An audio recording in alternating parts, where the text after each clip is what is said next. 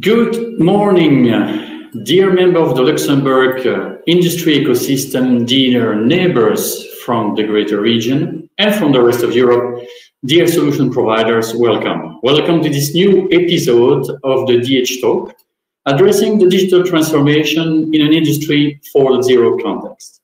My name is Arnaud Lambert. I'm the director of the Luxembourg Digital Innovation Hub, and I will be your host today.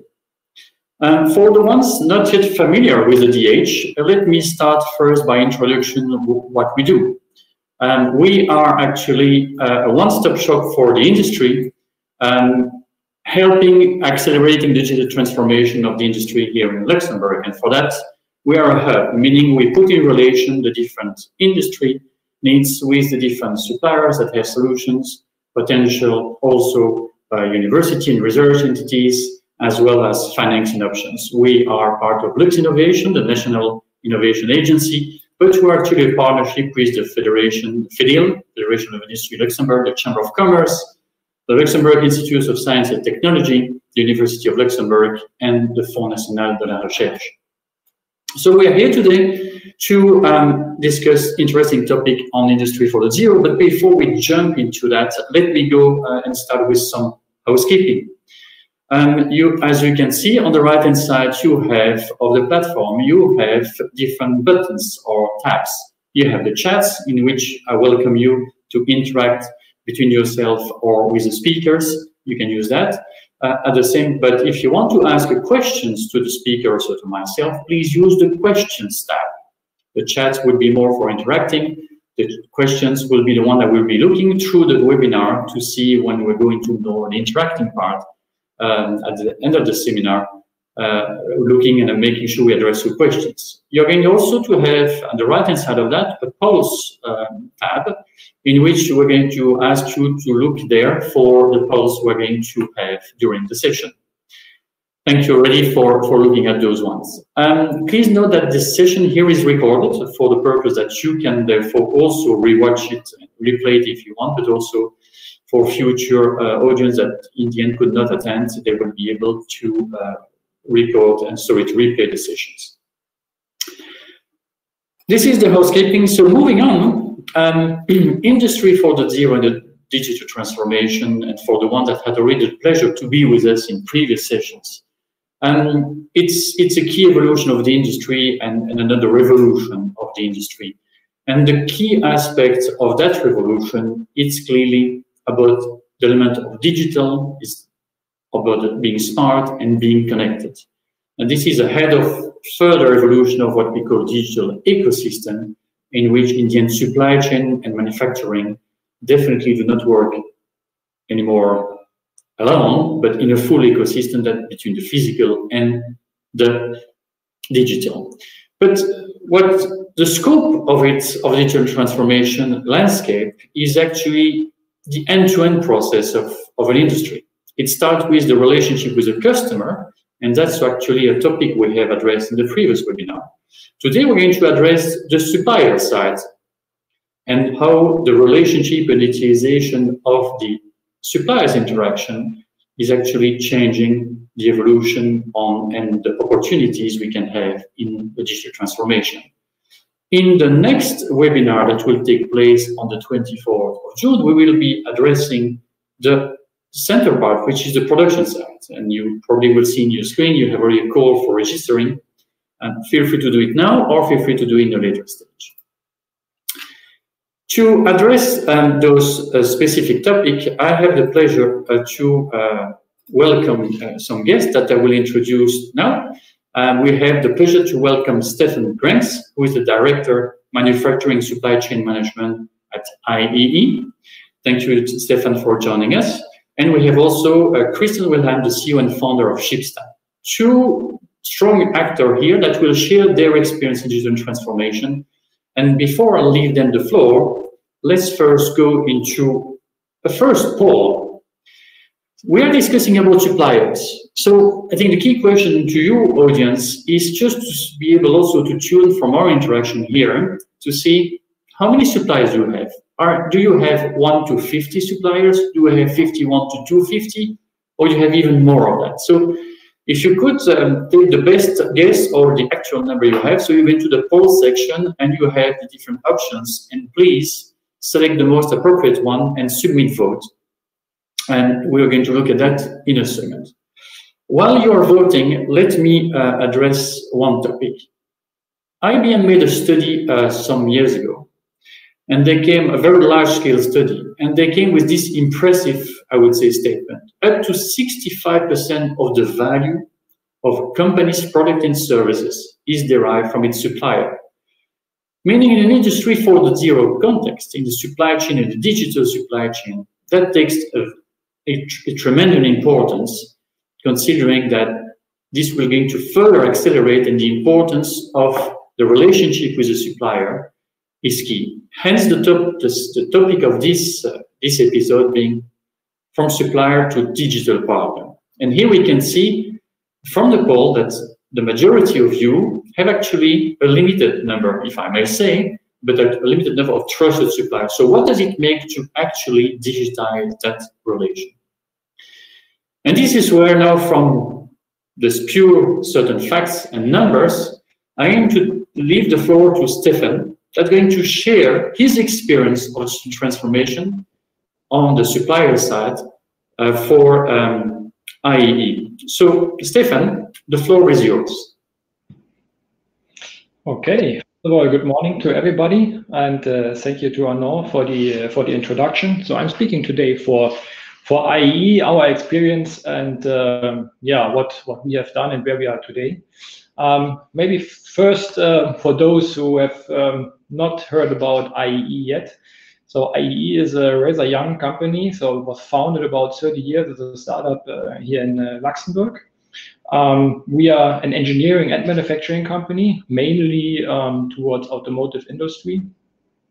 And uh, as you can see here on the map, so meanwhile, after the 30 years, we are a global player in the automotive uh, industry with um, yeah, plants and uh, sales and R&D offices around the globe.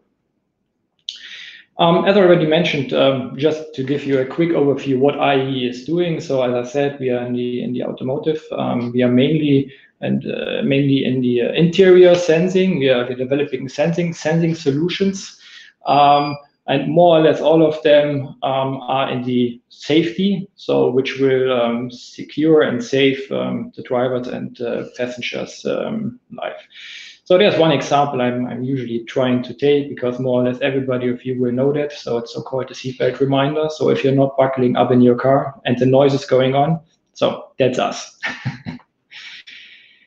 um, okay, but um, we have 10 minutes, so I, I, will go pretty fast to, to the topic itself. So we are talking today about um, yeah, the digital supplier, but some key facts about um, where we are coming from and what our what, what, what our intention or what is the reason why we are going in this direction. Um, we have far more about 150 suppliers meanwhile. So we are managing 4,000 employees worldwide. Um, we have above 700 customers to manage and all this will, will lead end of the day to more than 150 inbound and outbound shipments. So I'm pretty fast. Um, here the question will come up, okay, how to deal with, uh, with all the demands of the different customers, how to deal with the suppliers, um, keeping track, keeping quality, keeping documentation on, on, on track. And as well with, uh, if you're talking, as you have seen, about the global, global landscape, how to get this over time zones and um, yeah, over many even internal um, organizations. So, and this is, let's say, this is the base where we started a couple of years ago and said, okay, we need to get this better under control, um, not to rely too much on individuals and to get systems in place when the customers and suppliers. And for us, I'm talking here now as both. I'm talking as a, as a supplier for the, for the OEMs, as a tier one, tier 1.5, and as well, I'm talking about a customer with a, with a quite huge uh, supplier base.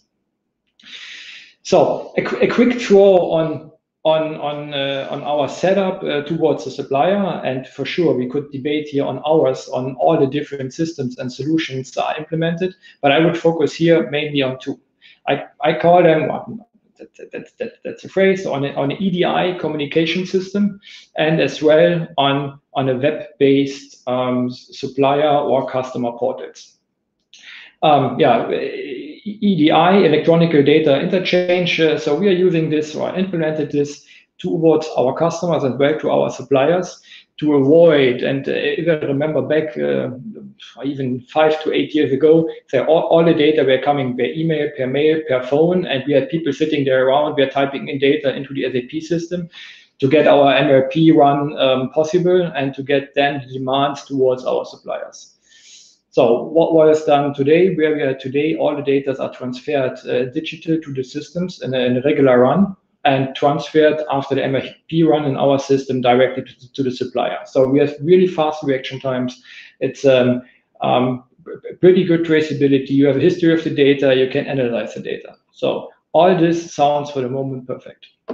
Um, but also on the other hand, so we, we, we are managing our suppliers. We are managed by our customers. So we implemented tools, interface, web interfaces, um, B2B interfaces where all the documentations are stored, where um, 8D claims, uh, quality handlings, uh, supplier ratings, audit follow-ups, specification exchange, and data storage is managed on a page which is accessible by everybody. So also here, it stops pretty fast and immediately to get into the discussions by email, but I, I called uh, this person, this person is not with us anymore. I, I had to send emails and phone calls and so on. And as well, the excuses, I have never received information. So all this is for the moment, for the moment gone. So this is towards our customers and as well as established towards our suppliers. But yeah, as, as I said, all this sounds pretty good. And this is the, the, the theory behind which um, in, in general is also working, but there's always a big but.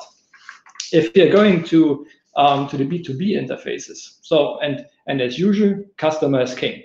What means customer is deciding what to do and which portal to use, which interface to use. And as you, if you remember from, from the key facts I've just shown you before, we are dealing with more than 700 customers, means uh, we have also to deal with a couple of hundred different customer interfaces and uh, B2B portals. In general, the system is still fine, but and this is a real constraint and, and a real world, world experience that end of the day, it's it, it's not that standard anymore. It's not that you really get into uh, one portal and you can deal with everything. You have a portal per in this case, per customer, um, which which brings high complexity and also which brings um, yeah a, a need of, of, of, of more headcount and more resources than than you initially planned for it. Nevertheless, all the advantages will remain. You keep the traceability, you have a high transparency, you have uh, it's easy to involve all your own organization around the world, and um, you have one communication platform, and for sure that's also a big advantage. No loss of data. But what I would like to point out here is, and that and that's the point, even on the supplier base, as we are acting on, uh, in this case as well as, as customer, a one-fits-all solution, even on a supplier base, is almost impossible. And there are several reasons for it. There are reasons for that they are not able to, to, to access the systems. They don't want to. They have not the, the capabilities, or even they're using different systems and just didn't uh, do not um, yeah agree on, on on on what we are asking. Good. As well, um, on the on the EDI side, or I call it EDI and MRP side in this case. I, I would even say up to last year, I, I, wouldn't complain about the system at all. Okay, there are many known, um, let's say, obstacles and uh, and disadvantages of those systems. Um, uh, like like that you need a continuous improvement of your systems. You have high effort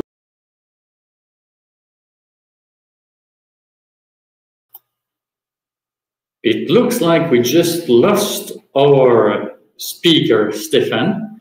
Um, so um, that might unfortunately happen. The, we are live, so um, I'm just going to, we still have his slide, so I'm probably going to come back to him. We'll leave him 30 seconds to join back. I just want to uh, highlight already two things that uh, we can take from his message is that uh, we are on the one hand side the supplier and the customer from somebody else. So it's uh, it's always we have always those two roles that we want to bring in. And here is Stephan back on stage with us. So I was okay. just highlighting while you were reconnecting the fact that one of the key messages you, you came across was to say that we are on one side the customer of somebody and the supplier of somebody else. And there are certain same game for certain matters, but different games for other matters. So I leave you back the floor to continue. Okay. So and and, and then um, I hope you still got that. So as I said, there's there's a, lot of, of, of, known disadvantages out about this system, but a lot of advantages. And as I said just before, the, the component crisis on the automotive side for, for, for the chip market and as well the COVID pandemic, um, I would say the system is great, working great, and it's uh, it's it's the best what what we can do. But now in the in the crisis, you really discovered the weaknesses as well of the system. So if if your customers are ordering and ordering, and you have the supply chain is empty, so the system is full of data, but you cannot really separate these anymore. And end of the day, you're then really happy to step in once again with the human being grabbing a phone and get into discussion and uh, and and and do your planning for sure together with the digital tools, but to to to be able to to manage and to run your MRPs um, manually. And and this is something which which I want to point out here, which is important. It's not about only the systems. You need also the people who are staying behind and know what the system is doing. And um, that that's uh, one one important message here. What what we experienced and uh, what we live uh, within within IEE. Here, I'm already at my end of my presentation. Thank you very much that I could introduce some of the experience that we had with those two systems, uh, which were implemented, and um, I'm open for questions. Thank you, Stephan. And, uh, and before uh, we, will get, uh, we leave the floor to Christian to, to bring a, a, a further perspective on that. I think you, you, one message was, was key. Is you, you said that, okay, digitizing is fine, it works, but in the end, doesn't you still need the people. Uh, that's, I think, a strong message here. It doesn't mean that uh, you do it with other people. It's a combination of both. Um, I mean, if you had to do it again, uh, that, that, that uh, if you had to take one big lesson about how you have implemented so far, what is the key one if you had to do it again? Would you do it differently?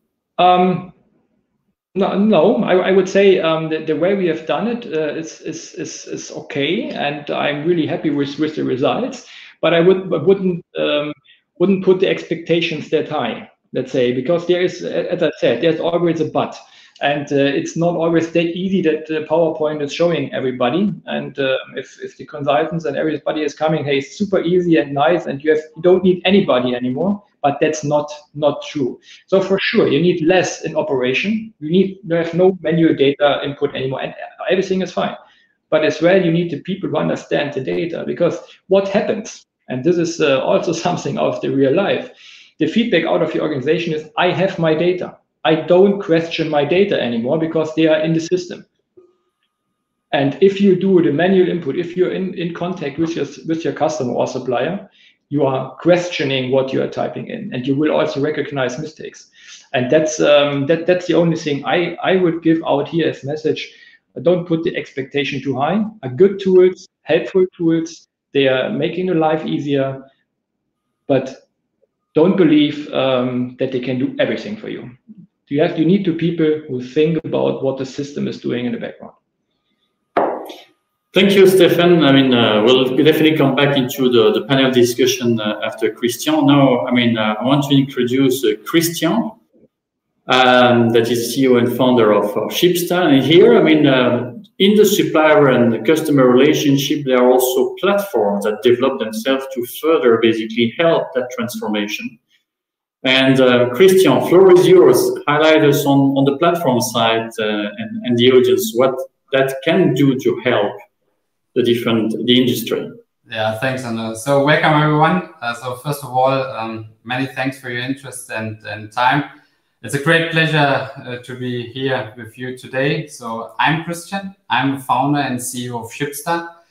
So I worked my entire life in logistics, and before I started my own venture at Shipsta, I was a global logistic procurement manager at Kühne Nagel. So for more than eight and a half years, and Kühne Nagel, you know, is one of the biggest or the biggest air freight and sea freight freight forwarder in the world.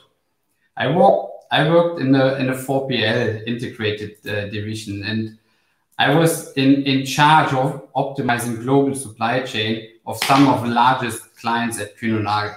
So from various industries, uh, such as high tech, uh, pharma, automotive, and many, many more.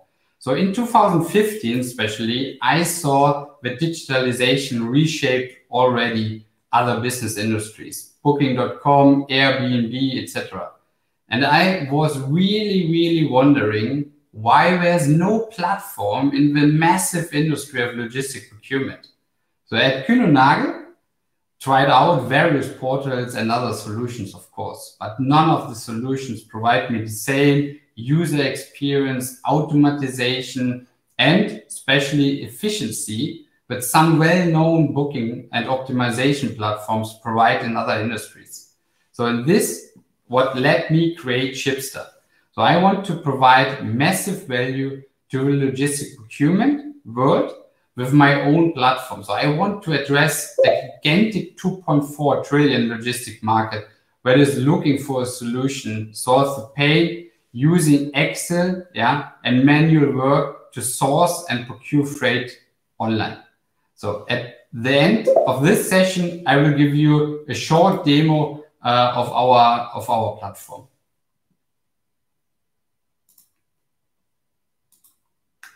Yeah, at Shipsta, so at Shipsta, we connect uh, shippers and carriers to ensure a frictionless procurement process entirely online. So the inefficiency in logistic procurement brought me to the decision to build a platform to enable everyone in the world to procure freight online. So as simple as booking a hotel or passenger flight from Luxembourg to Paris. Together with my co-founders, we found the company in 2015, starting in a yeah, really small garage in, in Wasserbillig. So today we are more than 60 employees, all experts in logistics, more than 15 nationalities, the average age 31 years, and based with our headquarter here in Mertert at the port in Mertert. So the future will definitely see online platforms when enables a more efficient and cost-effective handling and procurement of shipments.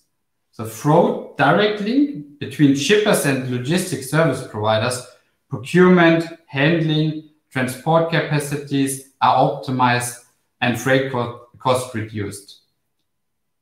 Especially in our business, the field of logistic procurement, so digitalization brings freight procurement to a next level.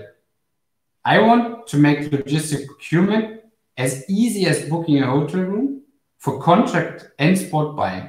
So for all mode of transport, road freight, air freight, and sea freight. So the vision was the basis for our product, for our data-driven e-procurement platform. Our product enables our clients to process logistic procurement without media break, entirely online, including all necessary features for the best possible benefit and reduce freight rates. So our digital e-procurement platform is our flagship product, so which is specially designed for large enterprises. And we are also launched, yeah, launched a low-touch solution, Shipsta Go, for small and mid-sized companies. And later this year, we will launch also predictive freight matching platform with a clear objective to bring massive value to a carrier.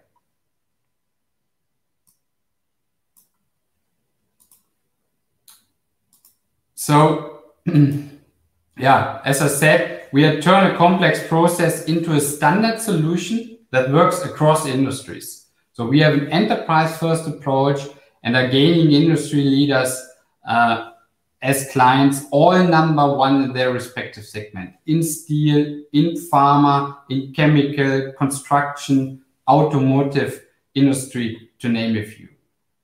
And I think all, or yeah, or you all ask yourself, why do all this enterprise decide to work with Shipsta? So one, enterprise want to procure spot and contract buying under one single platform without media break. Two, enterprise want to have full visibility and transparency in their global supply chain. And three, enterprise want to reduce their logistics costs and want to optimize their global supply chains. all the free using on single product, which is a platform. So in general, two essential criteria. First, process automatization on the one hand as a first step. Second, business intelligence on the other hand as a second step based on the massive amount, of course, of data. So I will give you a sense of, a, of our e-procurement platform, Shipsta and especially our marketplace, Shipsta Go, to show you in a live demo why the largest enterprises in the world are signing up for, for Shipsta. I need to now to share.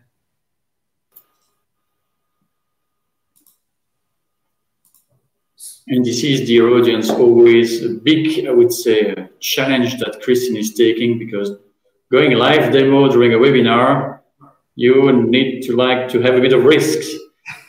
of course, that's really like the, the always the risk. But you can see now, hopefully, my screen, and that's the platform. So you find it under shipstago.com. You can easily, uh, yeah, procure your freight online for all modes, as I said, ocean freight, air freight, but road freight. So for instance, if you do a, a transportation, uh, if you have a transportation need from Luxembourg, um, from Luxembourg, let's say this uh, zip code to Hamburg, uh, Germany, Hamburg, and to the port, you select the zip code, then find rates, then the next question or the next uh, stage will be asked, is it the full truckload? Is it less truckload? Do it simple right now. I need a box trailer uh, without dangerous goods. If you have dangerous goods, of course, you can uh, put your dangerous uh, number classification. You put the, the uh, kilograms, so the gross weight from your truck into uh, the field, and then you select next next additional information will ask you, okay, when do your, your cargo is ready? So my cargo readiness is next Wednesday. I need at the latest a quotation from the market for my freight forwarder at by Monday at noon. It's okay. Here I can easily share some information uh, which is typically uh, also shared via email, but we want to stop this email tsunami. And of course, you can share your documents um, a packaging list, for instance, immediately also with your with your carriers. And then the system is looking for for an, an, a provider for you. So like on the left side, you see all the carriers you can use. And then, for instance, we said, look, we want to ask a price from DHL and, and Kühne Nagel, but you can also use a digital freight forwarder.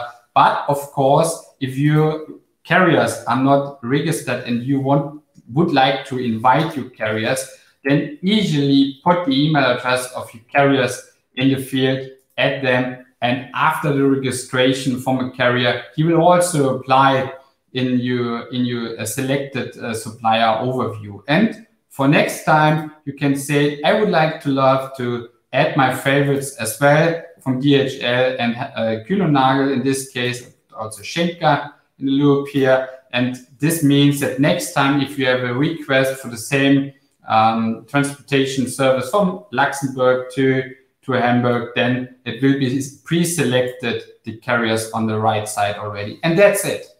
So there we, we procure a, a full truck, a box trailer, really in less as one minute. So it took me less as one minute, less as one minute. And to book a transportation service from Luxembourg to, to Hamburg. And under my request, you see all your requests you have. And then, for instance, like the um, go into after we receive the quotations from the suppliers. In this case, it was from Luxembourg to Paris, the transportation service.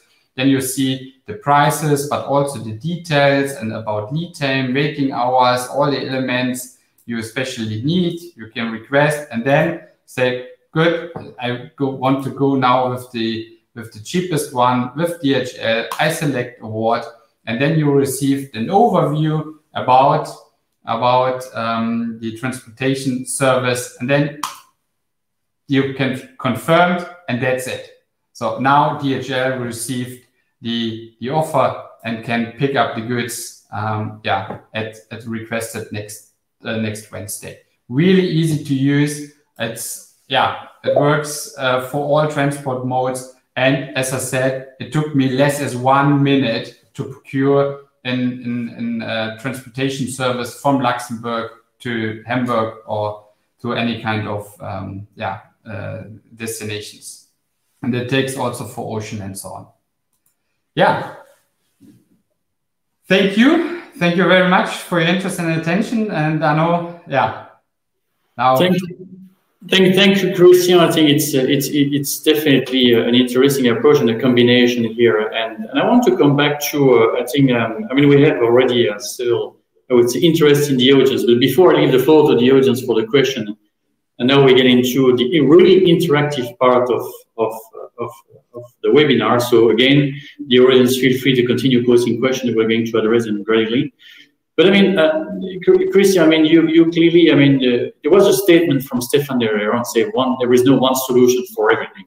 And here, what you're trying to do is actually taking the counterpart of that to say, I'm going to try to put one solution for at least the, the freight procurement, which is one of the procurement that company do. So, what's your view on, uh, from a Shipsta point of view and your experience in trying to come to your customers and therefore being helping the suppliers basically customer relationship with one solution.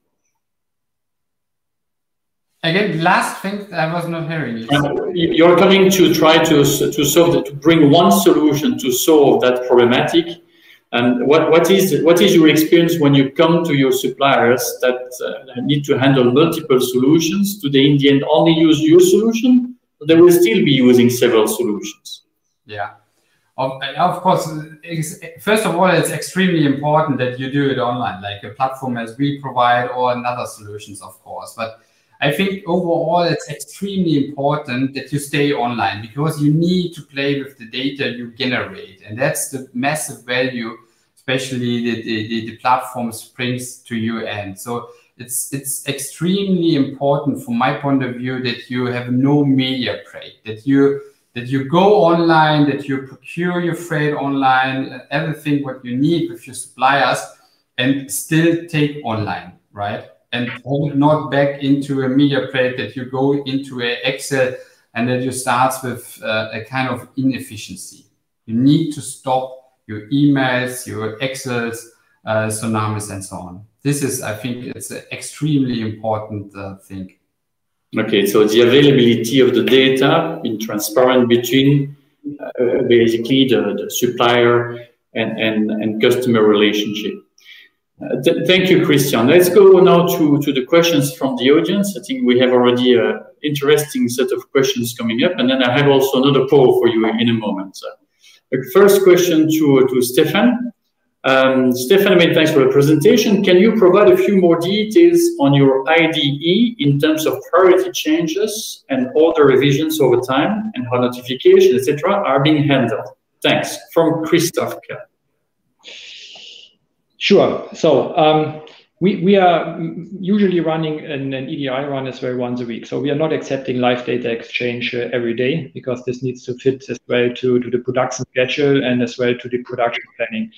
So we are we are allowing allowing it uh, once an update once once per week, and as well in addition we are usually have um, a freeze of it depends on the product of a couple of weeks where the where the, the, the, flexibility is given to the customer or to the supplier, let's say about 10 or 20 percent, it depends a bit.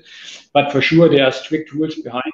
Um, uh, you, you cannot uh, order by 100% more by one week. So this is all dependent on uh, on the on the lead times and also on the availability of the of the raw materials. Thank you, Stephan. While you're on the speaking slot again, I mean another question for you. Uh, do you have as well any predictive solutions that may present you what materials you may need to order to your suppliers based on temporary or not yet confirmed orders you have in your clients planning or your historical client supply order data set? So here we really focus on predictive. So um, yeah, the answer is more or less already given on, on the on the question. So we're using all of them. So we are in the lucky situation that we are in the automotive industry, where the the, the forecast and the prediction what it's coming next um, is pretty accurate. So we are working for sure with um, with booked orders. We are not in the market that we are that we are on a on a build to order uh, situation. So usually we are on scheduled agreements that we know pretty accurate what is coming in the next weeks and and months. So in uh, in addition, um, as you might know as well, on the on the component shortage, there are long long lead times. Meanwhile, up to a year of components, and you have no idea how many cars will be sold in one year and and and and and, and later. So means we are basing on booked orders first, then on scheduled agreements, which are usually uh, up to three to four months uh, into the future, and uh, after that, we are going to to a forecast uh, provided by, by our customers. And this we are turning immediately then as well in booked orders, scheduled agreements, and forecast to our suppliers. I mean, just for linking basically also to presentation, I mean, do you, I mean, as IEE, use those, I mean, platforms like, like Shipsta I mean, Shipsta for freight uh, aspect, but and logistics, but you have also for procurement of raw materials, etc., etc. I mean, do you use platforms or you do do you do like you have shown primarily direct connection to your key suppliers on a on, a, on an EDI point of view? So um, it, towards our, our customers, uh, we ideally going on Ex Works so that we have nothing to do with uh, with transportation at all. Um, and on our, our supply, uh, supplier base, it's it's different. So actually, Shipsta we are not using. Um, we are we are going mainly with big forwarders uh, to to stay on, on on one. So we're doing a benchmark, um, let's say twice a year, to compare the, the cost and the prices. But usually not changing a lot between the um, yeah the forwarders. Okay, but, but typically now from your raw material, for instance, they would have also direct connection from a digital point of view. You would not necessarily go to procurement platforms for raw materials. Just take that as an example. No, correct. Okay, thank you. So moving on, I mean, uh, I'll go to Christian now, and then I'll go back to you, Stephan. There is no question for you, but uh, uh, Christian, I mean, uh, your solution probably must offer APIs to fully integrate the no-touch error selections. I mean, uh, and optimization. Right? Can you can you can you tell us a bit how, in the end, uh, you in, plug digitally into the ecosystem of, of the supplier and, and, and of the customer because you are actually in between both? Yeah, absolutely. Yes. So we we, we also act as a via API to our enterprise clients uh, to the TMS system so that they are really an end-to-end process in place. Also to some other um, other uh, solutions, uh, market solutions, uh, especially like a freight audit or a freight settlement uh, systems, which allows us to you know push the data without media break immediately into the operational systems, like a TMS. This is the operational, like SAP or Oracle, and of course freight settlement, freight audit uh, um, solutions so that you are really uh, have no implementations and, and make sure that you are fully connected and integrated in the IT landscape of our clients. So we are providing like a REST API to our clients upfront as well. Thank you. Before we get to the next question, I think it's time also for, for the audience to continue to uh, to, to, to, have some, uh, I would say, oops, sorry, I thought I was further on my question side. But here is the next question for the audience, and, and the poll uh, will be uh, open soon, hopefully. I mean, uh, the, the question is on your end, dear audience, what is the biggest challenge preventing you to digitize more your supplier relationship? I mean, is it, I mean, as we have seen, it needs two to tango. I mean, uh, there is also you can you can you want you might want to digitize the whole uh, experience with uh, an interaction with your supplier, but they need also to participate to that. So, is it the fact that more the limitation comes from the supplier side?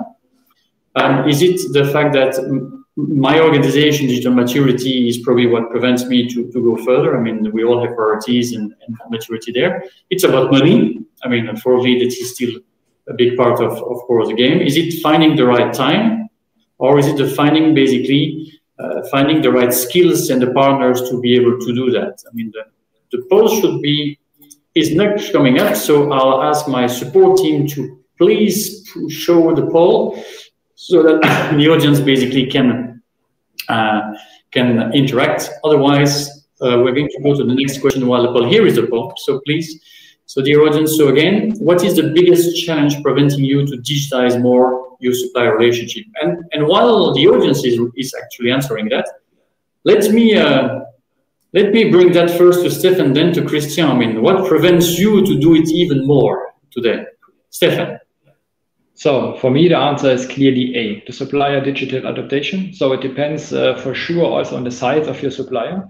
And um, if you are dealing with, with smaller smaller suppliers or which are may, maybe even out of a totally other um, business area, um, then it's really hard to convince them to use uh, those digital tools. And um, that's for us the biggest the biggest point and clear answer: A supplier digital adaptation. Thank you. Christian, yes, you're in the middle of the, of the two. So what, what would be your, uh, your, your ABCD?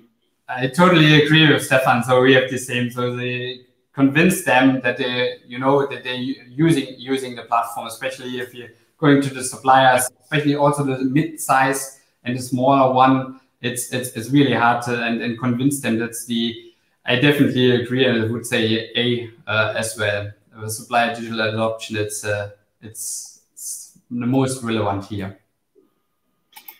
Thank you. I mean, we can see that also from the vote of the, audience, and that, that's the first one is definitely also the supplier adoption. I mean, again, coming back to a discussion we also had last uh, last month about uh, in the customer relationship, it needs two to tango in the end. So you might have the biggest dreams of the world and the biggest capabilities and capacities. It needs also the other parts basically to, to do that. Now, if you deal with your supplier, you should be normally in the driving seat because you're the customer, going back to the point, but still, um, there might be an area where you can't force it more.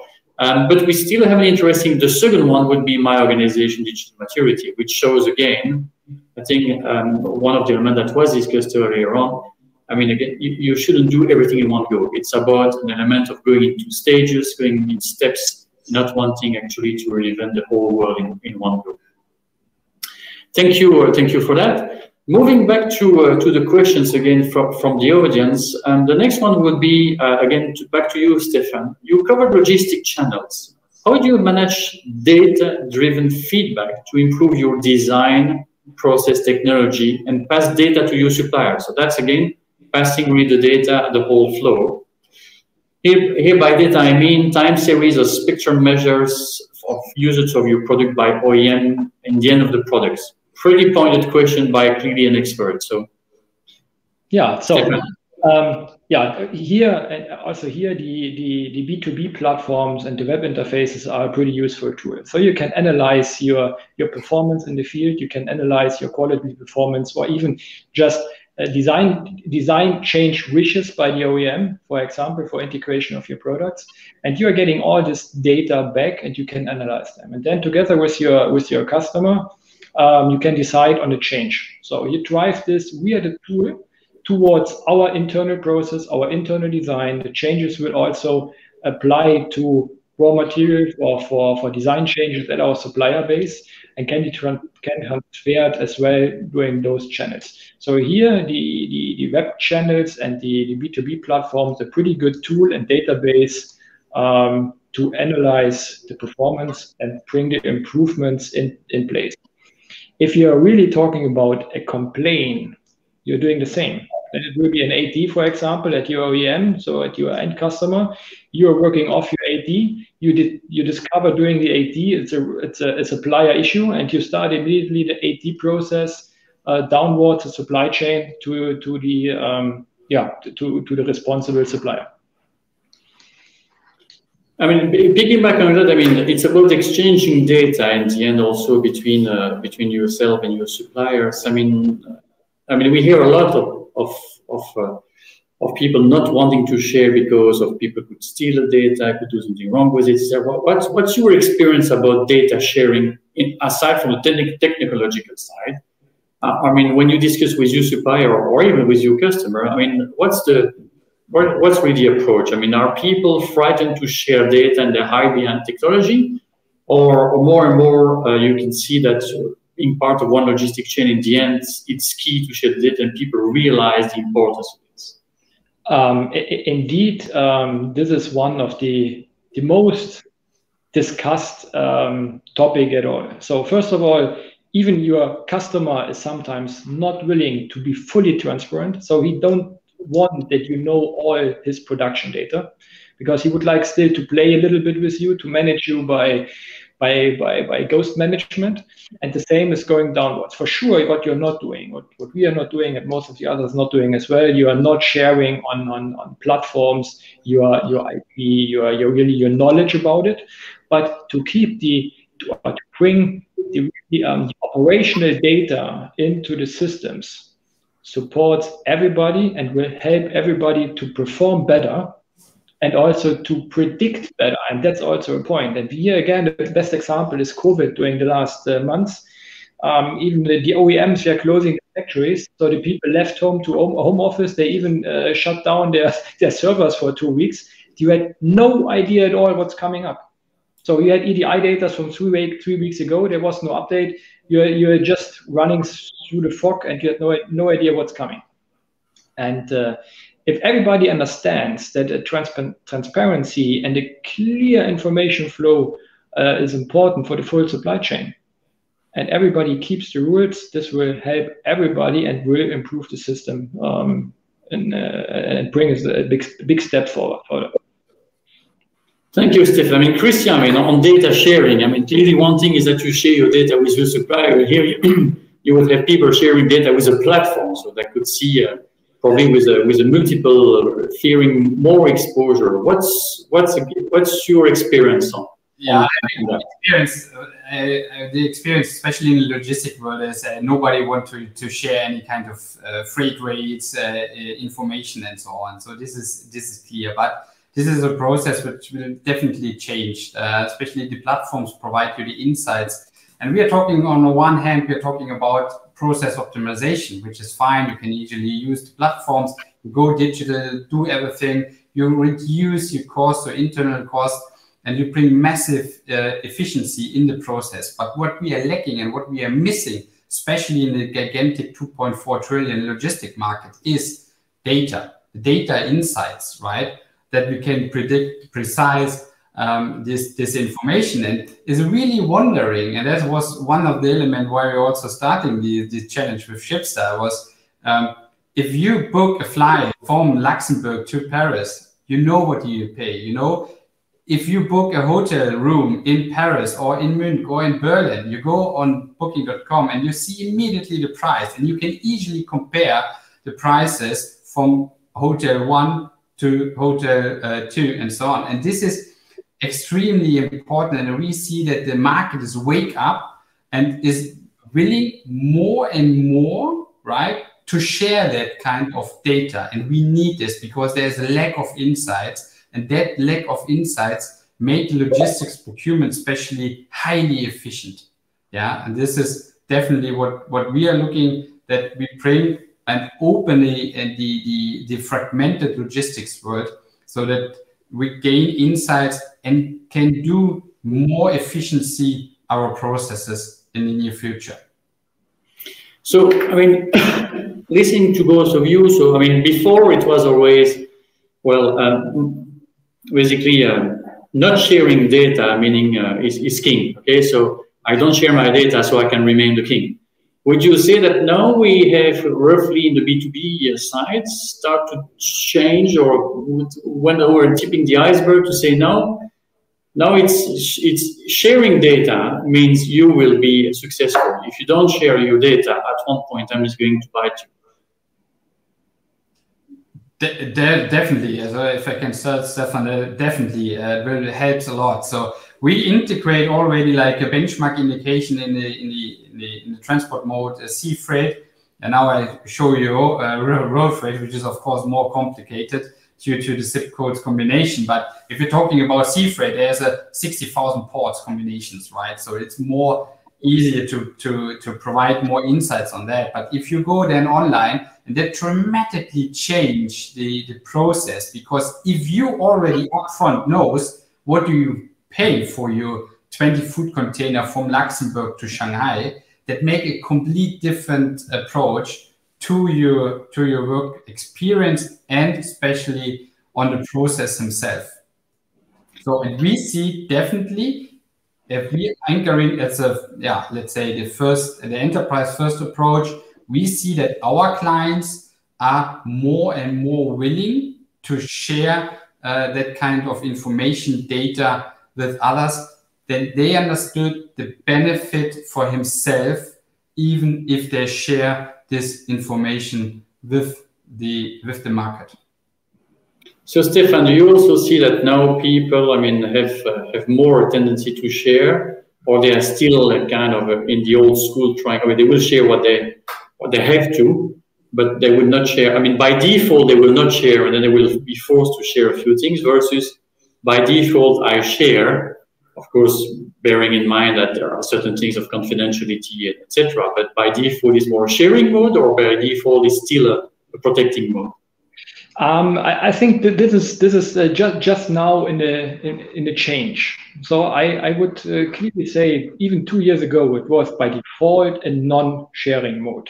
So definitely, if you if you need something, you had to ask for it, and it was really a small. You, you, you just got what you really need, and um, this is okay. We should we shouldn't look at the positive things of the, the crisis we have right now, but this is something which is, was totally changed in the last two years because the the the, the, the, customers and well as the suppliers, they understand now and they see the advantage of the prediction you need to do and uh, the, the, the, data sharing um, is getting more and more usual so that, that you no, don't need to fight for it. And what you have to say as well, but this is not just that the people don't want to share. It is sometimes also a company rule. Don't share more than you really need because they're all afraid of losing IPs. They're all afraid of losing critical data or that this could be shared maybe with another, uh, with a competitor or whatever.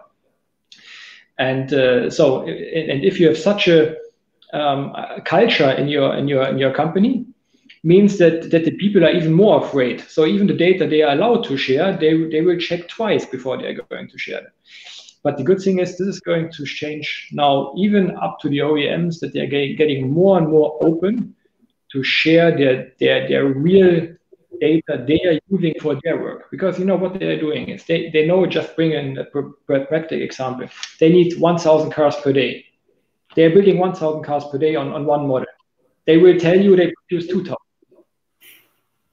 So what we are going, what, what, what we are going to do, we are telling our suppliers we need 3,000 a day, and and and and and we all in supply supply chain knows what that means, and we see just now, and um, most probably Christian can can also agree on that. We see the same in, in the in the transportation way. So everybody stopped everything last year. So means one flight after the other got got got from the market. So the train stopped driving. So the, even the public transportation stopped. So now by a sudden, so the need is there, and it takes then the time to get everything up and running again. You cannot start from one day to another 500 airplanes just because they you take them out of the garage and send them to, to, to the sky.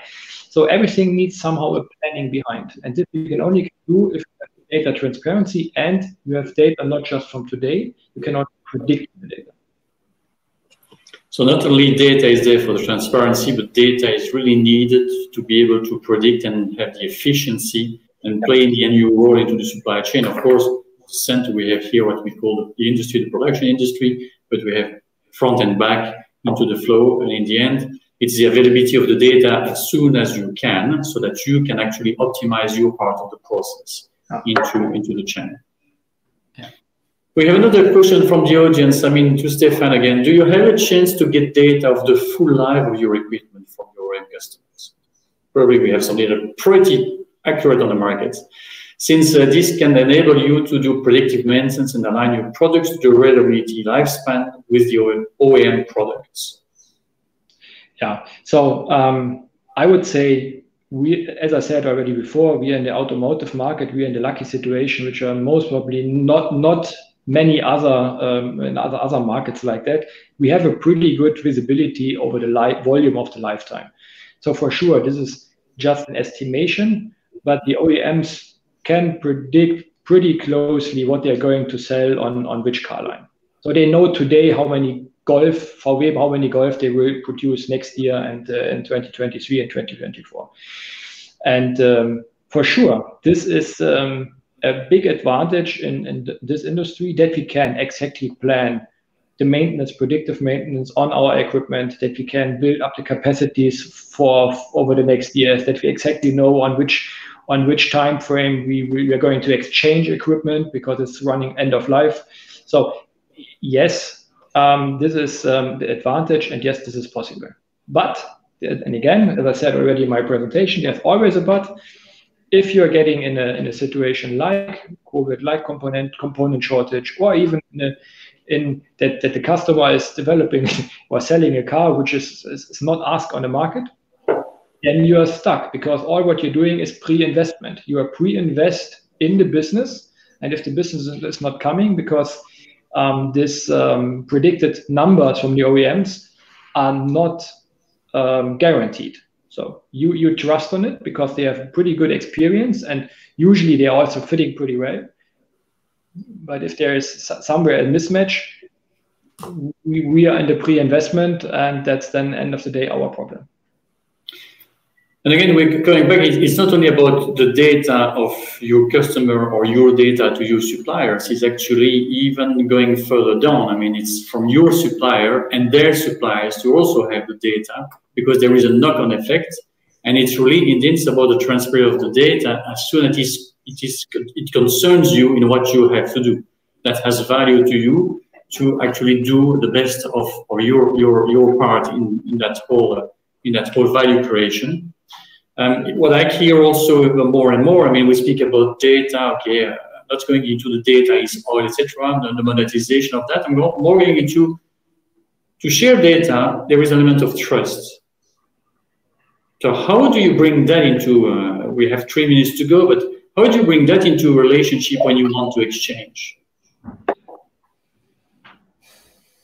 How do you bring the trust? There is technical side, okay, security, etc. But otherwise, is that something that where you see an opportunity for addressing and boosting further the data exchange to find ways to trust and bring trust into the system?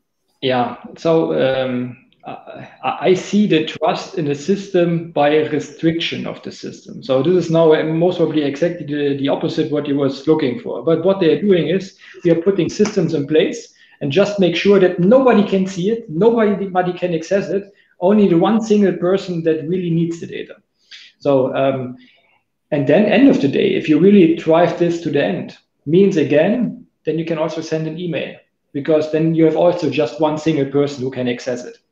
And uh, here, the, the, the, trust is a kind of a of um, an artificial um, trust, saying yes, we trust you. You get all the data on on our platform, but they still restrict the access to the platform to an absolutely minimum. So it's then still difficult to to get to the data. But they will tell you you have everything you need, but you don't have access to it.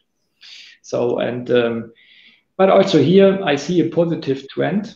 So that it, let's say if I remember the first platforms we, we entered, then it was really a, a single name um, allowance. And meanwhile, we at least already to a organizational allowance. It means, okay, if the develop, developer has access to it, it's not just his name, it is his team who has access to it. And uh, for sure, every single customer, or not every single, but some have even special security say um, uh, security rules you have to follow. Even that you are not allowed, just an example, that to, to run the data on the same server than uh, than another customer. So that you have really an, an, a technical barrier between between the, the servers where the data are stored. I mean, thank you. I mean, time is, is, is flying and we're about to close here. So I just want to, to thank you. To thank you all. We have a few more questions and hopefully we can bring them and have direct answer separately.